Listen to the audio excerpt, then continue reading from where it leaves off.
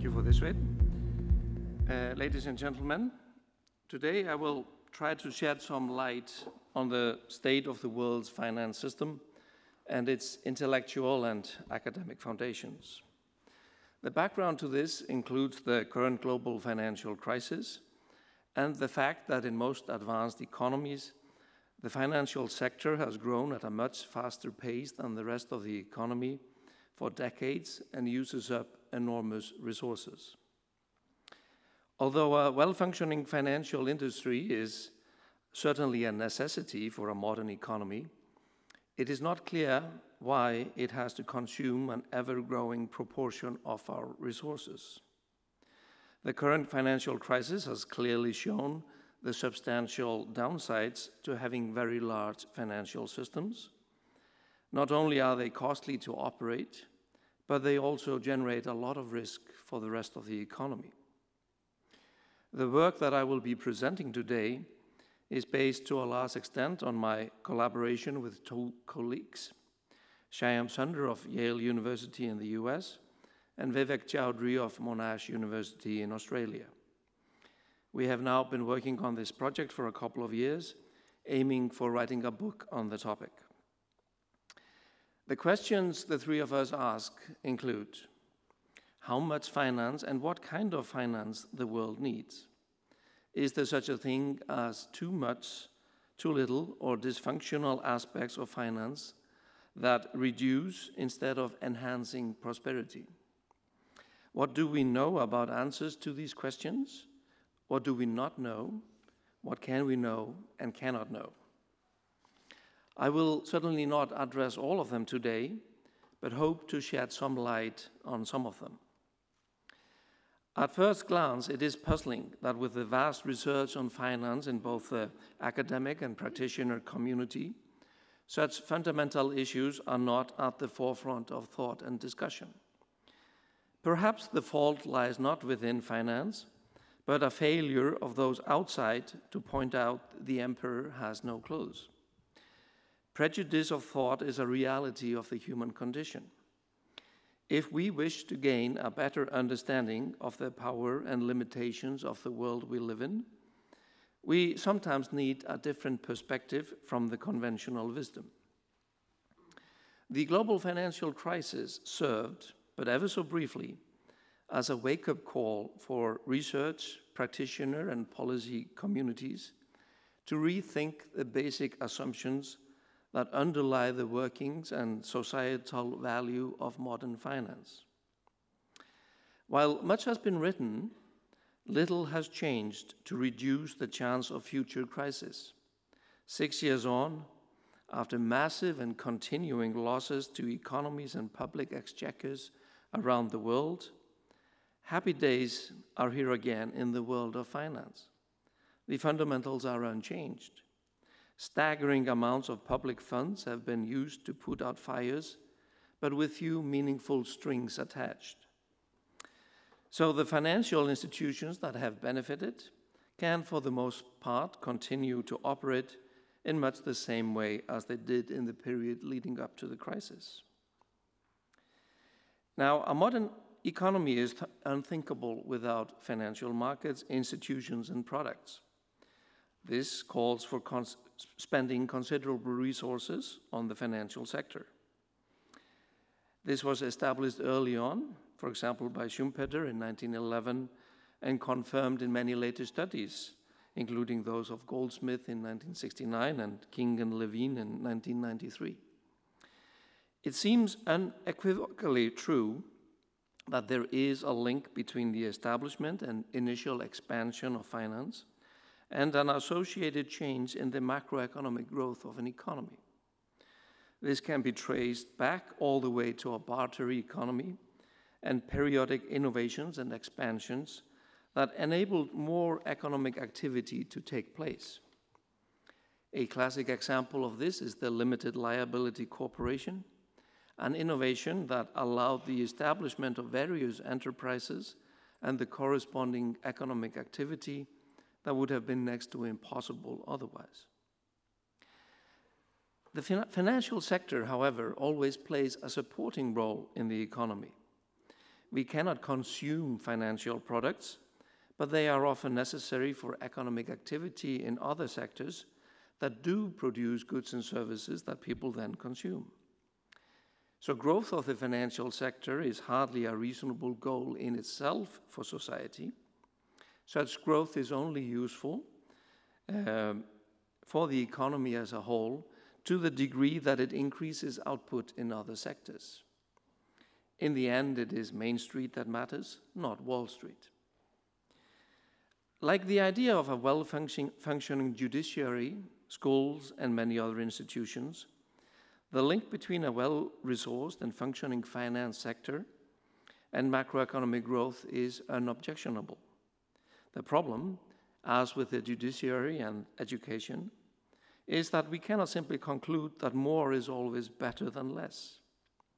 Indeed, one may expect that as the sector expands, complexity, attraction of talent, obfuscation of value creation, etc., all lead to an increasing cost of delivery of financial services.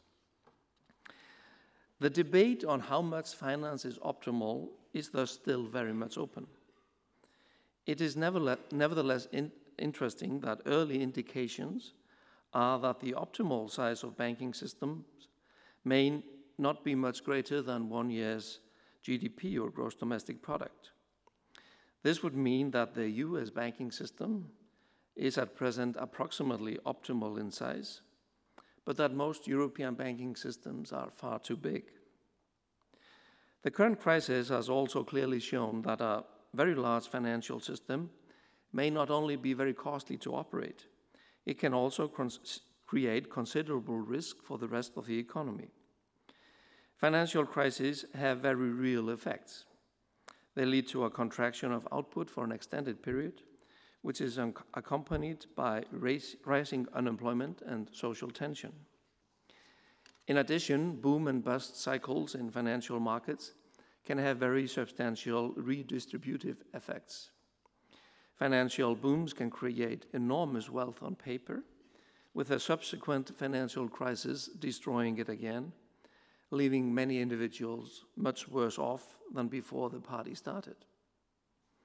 A striking example of this includes millions of households in various countries that bought real estate near the height of a boom in its price and have since suffered losses that can easily be the equivalent of several years' income. At the same time, others end up with much greater wealth than before the boom bust cycle started if they had the good fortune to sell their speculative holdings before asset prices declined too much. This is much like a Ponzi or pyramid scheme. Those that exit early can make a killing, those that do not lose their shirt.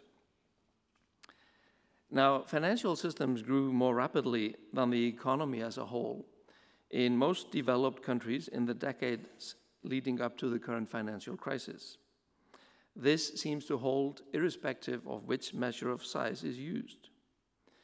As one example, in 13 of the current Eurozone members, uh, member countries, the banking sector's combined balance sheet was about one and a half times GDP in 1980, but has grown steadily ever since and was 3.2 times GDP in 2009, twice as large in relative terms. In a recent paper by Philippon and Reshef, they find that there was a change in the relationship between what they term financial output and income around 1980, with the ratio between the change in the former and the change in the latter much higher after 1980 than in the previous 30 years that they look at. Now, that could indicate that the tremendous growth of the financial sector since 1980 has not resulted in much growth of the rest of the economy. Now, of course, the size of the banking system can be measured in many ways. The combined balance sheet of banks is one common measure, but certainly not the only one. Indeed, not necessarily the most useful one. Another measure is the proportion of the workforce employed in banking or finance in general. The trend here has been clearly upwards in most, if not all, developed countries. This has happened even if few industries have had the same opportunity as the financial industry to increase productivity in recent decades. In earlier times, the industry needed an army of people to work with all sorts of paper instruments, checks, etc., and paper based systems of recording, communication, accounting, and control. With electronic payment and data systems, this is no longer the case. Even the use of paper money and coins has shrunk. Internet banking and ATMs have drastically and dramatically reduced the need for staff and extensive branch networks. In light of this, one would have expected the number of workers in the financial system, banking in particular, to shrink. But the opposite has happened. Automation has replaced many jobs, but the financial sector has expanded so fast that the total labor force in the sector has grown. Wages in the financial sector have also risen considerably faster than in other sectors. Cross-sectional comparisons suggest that managers and specialists in the financial sector are paid considerably better than their counterparts in other industries with similar skills. In the United States, this wage premium has been estimated to have grown from zero in the early 1970s to about 70% currently. This high compensation is not only costly to the financial sector and its customers, it has also starved other sectors of new talent. In the year 2008, 28% of Harvard College graduates went to work in the financial sector, compared to approximately 6% 40 years later. This phenomenon extends to graduates of some extant fields, such as engineering and science. It would take some research to find out the welfare consequences of this near monopolization of society's best and brightest by a single industry. Another useful measure of size is the amount of domestic credit provided by the banking system. It is one of the most important roles of any banking system.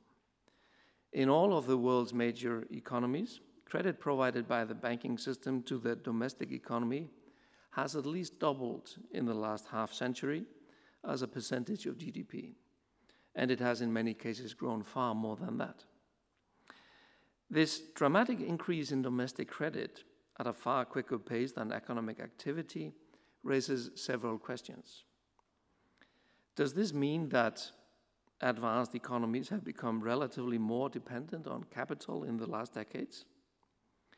The answer to that is both yes and no. Clearly, they depend on far more financial capital. They do not, however, rely on a larger capital stock, that is, real assets, at least not as such assets are normally measured. The ratio between the capital stock and GDP varies over time and across countries, but has in most advanced economies been between 2 and 4 since at least the middle of the last century and shows no signs of an upward trend. The average ratio for 22 OECD countries was thus 314% in 1960 and uh, 300% 40 years later. So this increase in domestic credit is not financing a larger stock of physical capital. Other possible uses of all this increased credit include consumption, both private and public. Statistics clearly show that the public sector and household debt have been rising in most advanced economies. Indeed, that is a crucial factor in the current financial crisis, with household debt having grown rapidly in the years leading up to the crisis. When economies contracted, wages fell and unemployment rose. Overextended households found themselves in dire straits. This resulted in a need for substantial write offs in many countries. Although the focus has often been on mortgage debt, other types of household debt have also grown, with households borrowing to finance their consumption. Similarly, the sovereign debt part of the crisis is at least in part due to the public sector in advanced economies borrowing heavily to bridge a gap between expenditures and revenues in the years leading up to the crisis. In the period 1993 to 2011, the member countries of the OECD as a whole only once balanced their budget in the year 2000. Over the whole period, the average budget deficit was 3.5% of GDP, leading to ever increasing debt levels by the public sector. The Eurozone and the United States fared similarly by this measure.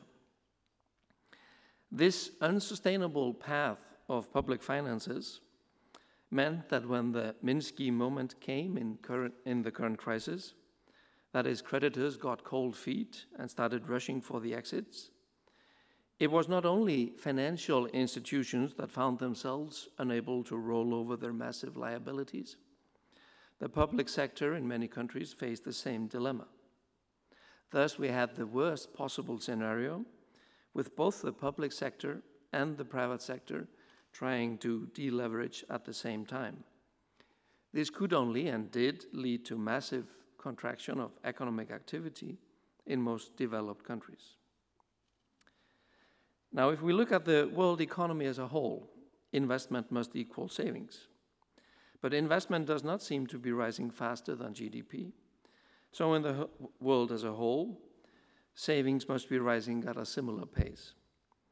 This implies that the growth of the financial sector and the various balance sheets related to that sector corresponds to increasing shifting of consumption, private and public, over time. Borrowers bring consumption forward in time, and lenders postpone consumption. The growth may, however, not be as great as the raw figures indicate, the reason being a tendency for double counting in the statistics. More complicated financial structures can lead to what are intrinsically the same claims, appearing as assets or liabilities on many balance sheets. The current financial crisis has led some researchers to look at the number of links, so to speak, in the chain within the financial system that connects borrowers and savers. The simplest type of loan is a direct loan from one entity, the saver, to another in need for capital. The simplest type of a loan made by a financial system has only one intermediary, a bank that collects deposits and makes loans. But modern financial systems have a growing tendency to generate chains with ever more links and increasingly going back and forth across national borders. So, although national banking systems have grown at a very rapid pace for a long time, this growth is dwarfed by that of cross border liabilities within the international finance systems. Their average nominal growth has been a little under 18% per year since the late 1970s. In dollar terms, these cross border liabilities have thus grown by a factor of 40 in less than a quarter of a century. This is staggering growth by any measure. It now stands at slightly more than US dollars 30 trillion after having peaked at 35 trillion US dollars in 2008. This is approximately equal to the combined annual GDP of the USA and the whole European Union. One effect of these huge liabilities is that trouble in the financial sector in individual countries has unavoidable domino effects across borders. Recent events in the Mediterranean are but the latest example of this, with losses by Cypriot banks due to their holdings of toxic Greek debt, leading to large losses by, amongst others, Russian investors. This is also one of the reasons that the international financial system now appears shakier than ever. Hot money is in a continuous quest for return or shelter, jumping from one country to another with lightning speed. Herd behavior is a source of endless problems, and local problems quickly call for international rescue efforts. Now, turnover in financial markets for currencies, bonds, stocks, etc., has grown even faster than the combined value of the stock of these assets. Furthermore, new markets have appeared for various assets that did not exist or had little trading volume and have grown rapidly to become very large. This is especially true of various forms of derivatives. Assess assessing the pros and cons of having a large turnover in financial markets is something of a challenge. To a degree, increased turnover is a positive development. It increases the liquidity of assets, which is usually a benefit. To the extent trading is based on independent assessment of the value of the asset by the counterparties to the trade, every trade brings the private information and beliefs of the participants to be aggregated and incorporated into prices and allocation outcomes of the markets in a Hayekian perspective. There are, however, also clear indications that too much turnover can lead to instability of prices, which is a drawback. In addition, increased turnover usually goes in hand in hand with increased cost, a benefit for those that receive turnover related fees, but not for those paying them. It is fairly obvious that the turnover in many financial markets is much greater than what is called for by the needs of the real economy. So we want stable markets that price assets well and are sufficiently deep to allow, allow for the trades that are needed but we do not want markets that generate fluctuations unrelated to the fundamentals, increasing both the direct cost of transactions as well as the indirect costs of worse allocative decisions induced by more volatile prices. Now, one staple of intro economics courses is that un unimpeded flow of financial capital across societies will always promote growth and welfare. This is still the position of many influential bodies, such as the World Economic Forum. Arguments for this proposition are well known and based on the idea that when left to themselves, resources will flow to uses where they are most productive, financial capital being no exception. In essence, this would be the invisible hand often attributed to Adam Smith at work. This thought greatly affected the discussion from the 1970s until the 1990s on European monetary issues that led to the eventual adoption of a common European currency and the freedom of movement of capital within the EU. Mundell's 1973 paper was one of the cornerstones of this school of thought. The scenarios that people envisioned were that shocks would originate in the real economy, uh, like crop failures, but the financial sector would take actions that dampened the effects. What was not foreseen was that macroeconomic shocks might have their origin in the financial system, with the reaction of the markets being exactly the opposite of what had been expected, namely depressed areas having to fight capital flight, exacerbating their initial problems. The global trend pre crisis was increasing flows and removal of barriers to flows. The crisis has, however, not only seen introduction of capital controls in some advanced economies, but also rekindled interest in measures that would curb the flow of capital across borders, such as the Tobin tax.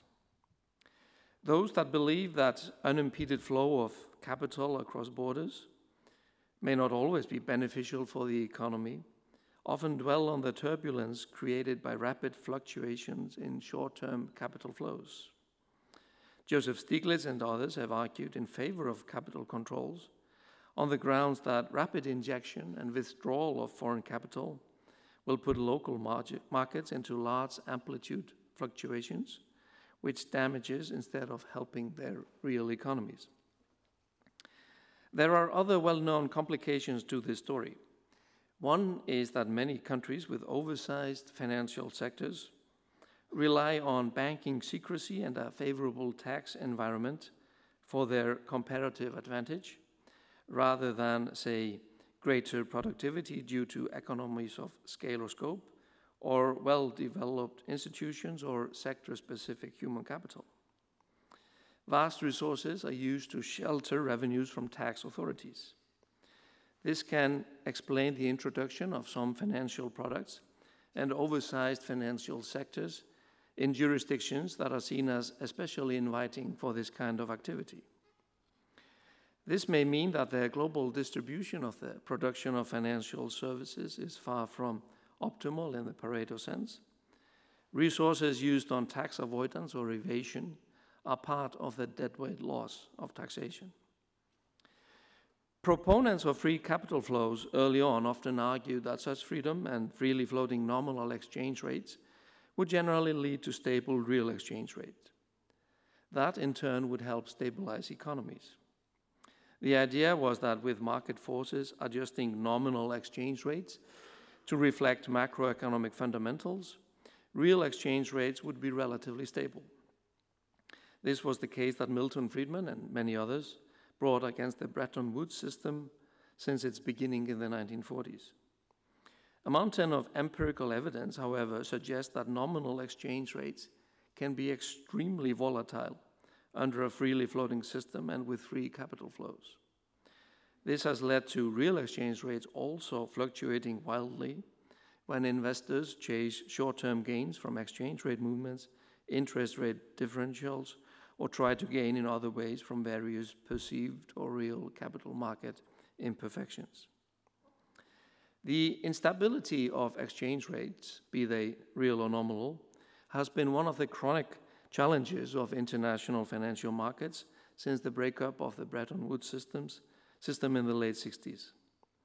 It is one aspect of a larger problem, namely that asset prices in general fluctuate considerably more than economic fundamentals would suggest is reasonable, as Robert Shiller showed with his pioneering work on stock market volatility in the 1980s. Despite this, there are no obviously better alternatives. Various attempts at pegging currencies to one another after the demise of Bretton Woods have a fairly mixed track record. European Union countries tried various so called exchange rate mechanisms before the euro. They were plagued by frequent crises. The euro was supposed to end all that, and did, at least up to a point, but has, of course, had numerous problems of its own. Ever since the market crash and the Great Depression of the decade following 1929, and, un and until quite recently, there seems to have been a widespread belief that financial crises happen in economies, economies with underdeveloped financial and even real sectors. So we had Latin American, Russian, and Asian crises. It was widely accepted that the expansion of financial markets makes the economy less susceptible to crises, financial or otherwise. Since the current crisis has, however, predominantly hit countries with disproportionately large financial markets, it now seems clear that the expansion of financial markets does not make countries immune to financial crises, probably quite the opposite. The crisis appears to have hit harder in some economies where the financial sector had grown beyond the demands of their domestic economies. What seems to be most dangerous is to have a financial sector that has grown very rapidly, has become quite large relative to the underlying economy, in countries that do not have long-standing traditions of banking and do not have reliable access to a powerful lender of last resort. In this respect, think Iceland, Ireland, or Cyprus. But the current crisis, which has mainly struck the US and Europe, does not bear a geographic moniker. It has been labeled as a global crisis in spite of the fact that large parts of the world economy for example, China, India, Russia, and Brazil, were, at least until recently, barely touched by it. The crisis has mainly struck countries with high income levels and large financial sectors that were, until the onset of the crisis, in many cases, considered state of the art and the envy of the rest of the world. This seriously undermines the received wisdom on the linkage between financial development and proneness to crises. Of course, Reinhart and Rogoff, in their 2009 book, documented quite clearly that financial crises are not black swans. They may be tail events, but they are still fairly common. It just so happened that none struck developed countries during the golden era of the first 30 years or so following World War II. This may have led many to the erroneous conclusion that the most affluent countries in the world had reached a state of development that made them immune to substantial financial crises, or at least that they would recover relatively quickly, like the US did after the crises of the 1980s, and the Nordic countries uh, more or less did after their crisis in the early 1990s. The adoption of measures such as a Tobin tax or capital controls is hard to justify for those that believe strongly in the efficiency of financial markets. The crisis has, however, led some to argue that, much like oil tankers benefit greatly from compartmentalization, the world economy would be more stable with some compartmentalization, in particular, restrictions on short term flows of capital across borders. Many countries that have relied on massive inflows of capital in the past and accumulated substantial foreign liabilities have, during the current crisis, seen the inflow come to a screeching halt or even turn into an outflow. When that happens, something has got to give. Introducing capital controls is one possible measure, default another. Assistance from larger entities with deeper pockets like the IMF or the EU, yet another. Heavily indebted governments that primarily borrow in their own currency, such as Japan, the US, or the UK, enjoy the implicit backing of their own central bank.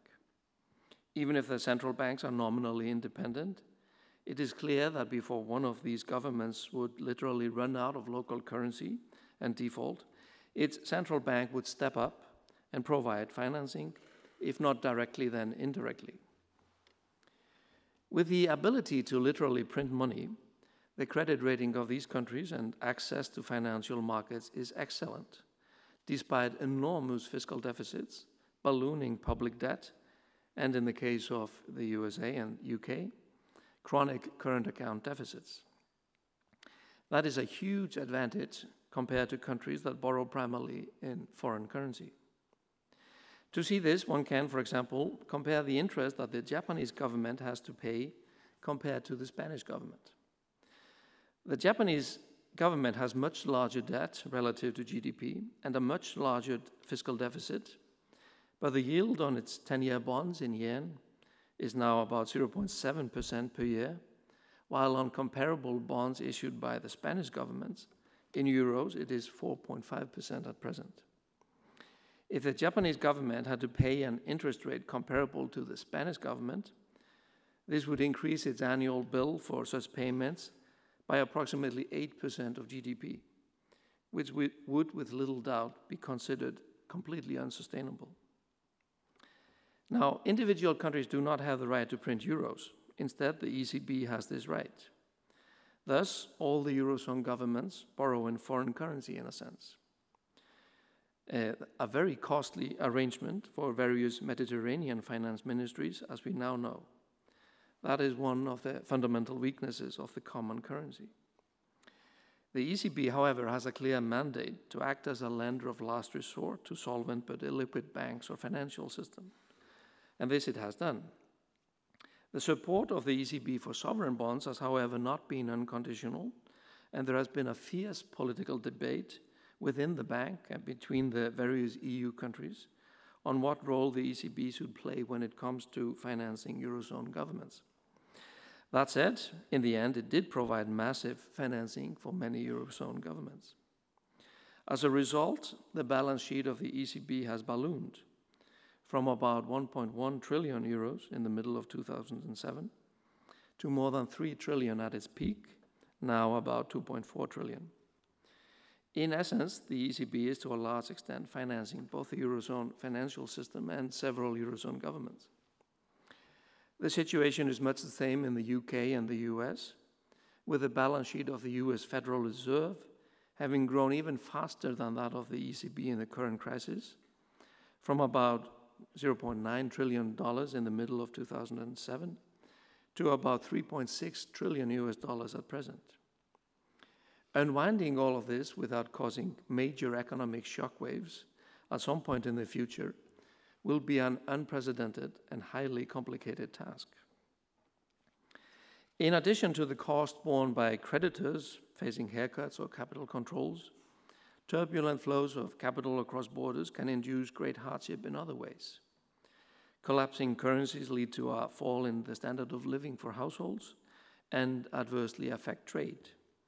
The adjustment costs can be very high, both from an economic and social viewpoint. Dramatic austerity measures implemented by governments frantically trying to reduce the need for government borrowing have various obvious adverse effects. This includes direct effects, public service that is no longer offered, public servants that find themselves unemployed, or households that see their tax bill increase, reducing their purchasing power. Cutbacks in vital services such as healthcare can turn a financial crisis into a humanitarian crisis with deteriorating health, rising suicide rates, and various social problems. Indirect effects of austerity include the contractionary effect that government austerity implies for an economy that is in most cases already coping with falling private sector demand, both for consumption and investment. Now, historical examples of how global financial institutions handle financial stress make it clear that trade in financial services is not free from nationalistic considerations. Some of the thorniest disputes to arise from the current financial crisis involve troubled financial institutions with substantial overseas assets and liabilities. To properly intervene when such an institution is in dire straits may call for an effort by many governments and raise difficult questions on the distribution of cost or risk and benefits across countries of the actions taken. Addressing deficiencies in this regard has been one of the most pressing items on the agenda for European regulators and policymakers since the onset of the current crisis. Indeed, many see the only way to properly solve such issues being a banking union with unified banking supervision, common deposit insurance, and in effect, the resources of all participating governments backing up the banking systems. Such cross border complications were an issue in Ireland, where the ultimate beneficiaries of the Irish government guarantee of 2008 were to a large extent foreign, but the cost fell mainly on Irish taxpayers. Likewise, the funds that the US government used to prop up AIG benefited greatly various non US entities. After the collapse of Lehman Brothers, many claimed that in the last days of operation, the investment bank had systematically diverted assets to the US from subsidiaries in Europe. In Cyprus, the fate of foreign depositors and what kind of haircut they would experience compared to local Cypriots was a major issue. The acrimonious Icesave debate between Iceland on the one hand and Britain and the Netherlands on the other revolved around how these countries would shoulder the cost of bailing out Dutch and British depositors in a collapsed Icelandic bank. The list goes on and on. It seems far from clear, from both a theoretical and empirical perspective, whether the benefits of freeing up trade in financial services always outweigh the costs particularly when long enough time horizons are considered. Because of the infrequency of tail events, the bad states of the world may have been insufficiently accounted for historically when considering the societal benefits of cross border trades in financial services. That may, of course, change when a tail event occurs, which is ex exactly what the world is now experiencing. The challenge may be to try to design an international financial system that allows competition and long term investments across borders, but at the same time stop local shocks from spreading across borders and preventing excessive turbulence created by rapid movement of funds across borders. Such a system would still allow most of the benefits of the flow of capital and financial services across borders but without most of the downsides to such flow that have played a large role in the current crisis.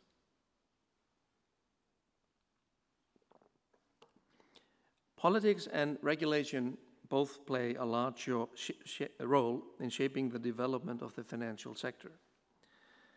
The story is, however, very complicated and differs from one country to another. In the US, the rollback of constraints on the financial sector, dating back to the Great Depression in the 1990s, was a crucial ingredient in setting the stage for the crisis. The earlier gradual abolishment of the various constraints on cross border capital flows that was typical in the Bretton Woods era also played a significant role. This allowed the creation of truly global financial institutions with balance sheets that dwarfed those of most nation states. It also resulted in a global financial system that was highly interlinked, with shock waves traveling instantaneously across borders. Deregulation has also led to the rise of ever more, ever more complicated financial institutions, offering a dizzying array of products in global markets.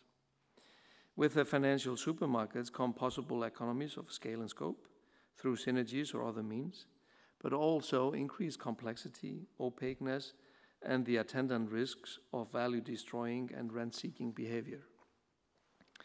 Other consequences of having such supermarkets may include lo loss of stability.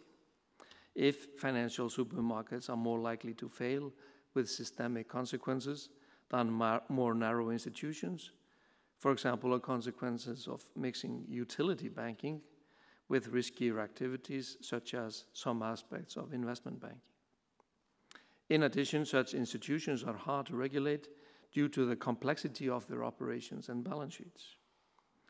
Arguments for curtailing the size or complexity of individual financial institutions also include the potential, potential for abuse of market power, less competition, prevention of effective monitoring by shareholders or regulators through excessive complexity, abuse of access to information, abuse of political power, and abuse of public subsidies. Monitoring of managers of large integrated firms becomes increasingly difficult for independent directors, investors, and financial analysts because such organizations provide more degrees of freedom for managers to conceal their errors, incompetence, and even malfeasance. Large commercial banks currently receive a subsidy in the form of access to public money and public guarantees, implicit if not explicit. The coveted too big to fail status may not provide any explicit gov government guarantee, but the implicit guarantee that comes with it in the eyes of market participants gives such institutions a tremendous advantage over their smaller rivals when raising funds. Estimates of this, the value of this subsidy vary greatly.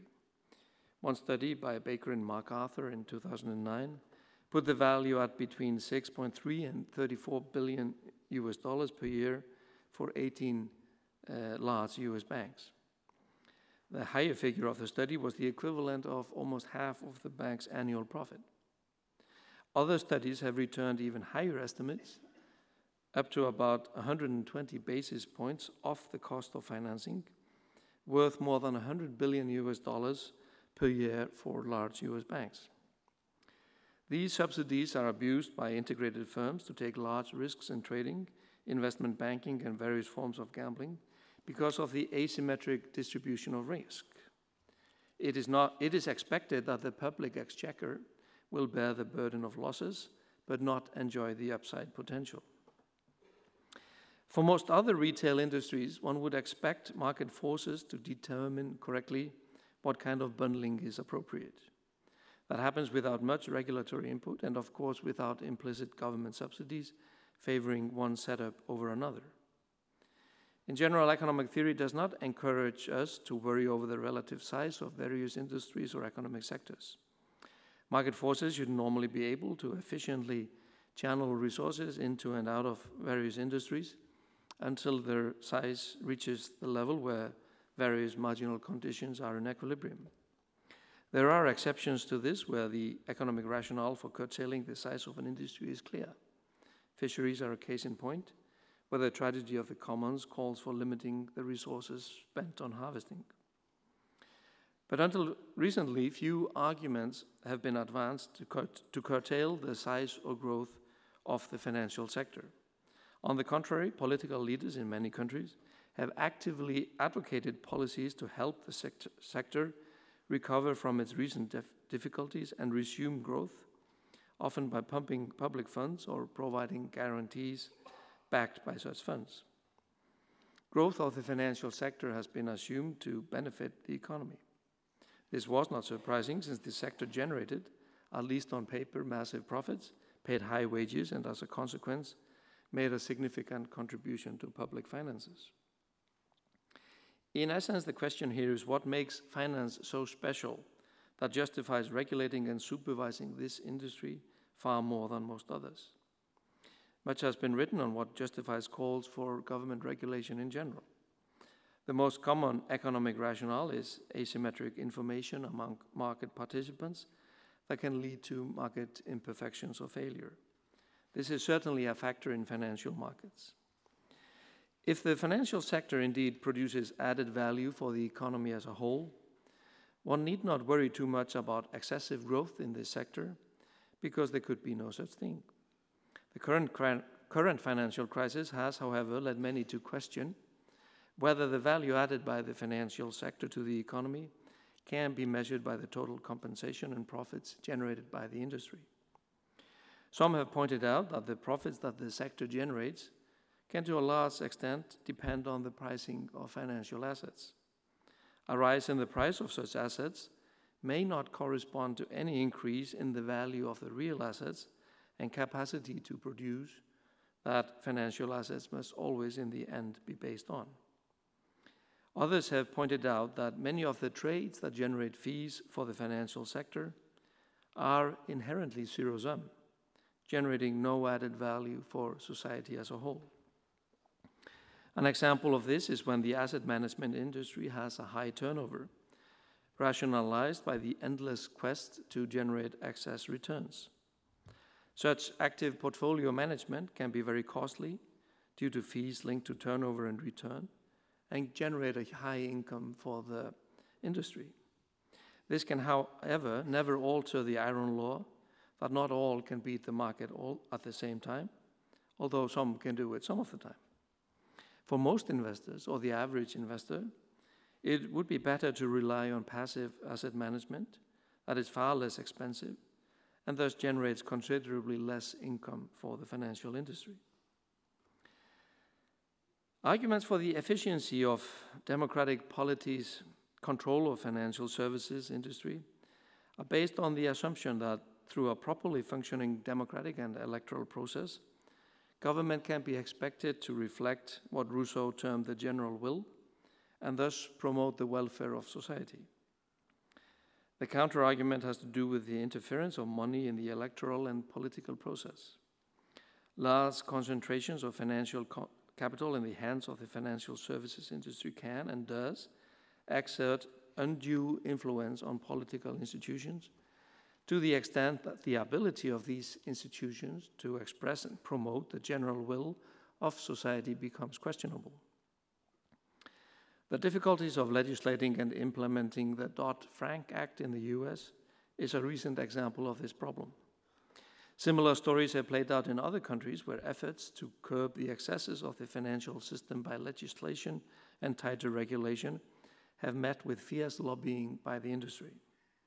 In many cases, the end result has been significantly watered down from the original proposals after having gone through a legislative process where the financial industry still has a significant say.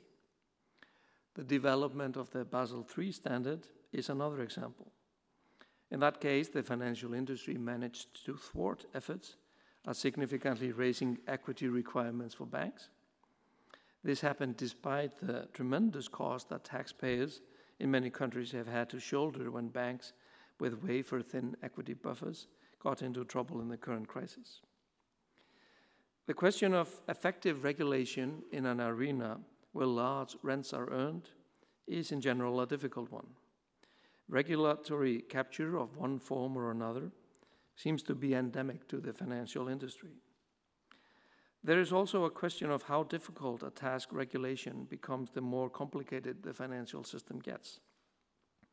This suggests that the res resolution to defining the appropriate constraints for the financial sector should perhaps be structural, that is, limiting the advent of more and more complexity and opaqueness, rather than having an equally complex, opaque, and hard to understand regulatory code. Perhaps simplicity comes at a cost, but the alternatives costs ought also to be evaluated. There isn't really any alternative to trying to regulate the financial services industry as well as possible, except, of course, the alternative of letting the industry self regulate. Now, all developed countries need a well functioning financial market. This will always be costly to operate. We should, however, not accept any level of cost. The financial system, like other parts of the economy, should serve society, its customers, employees, and owners, and make a fair contribution to paying for public services. It should generate far more benefits than costs.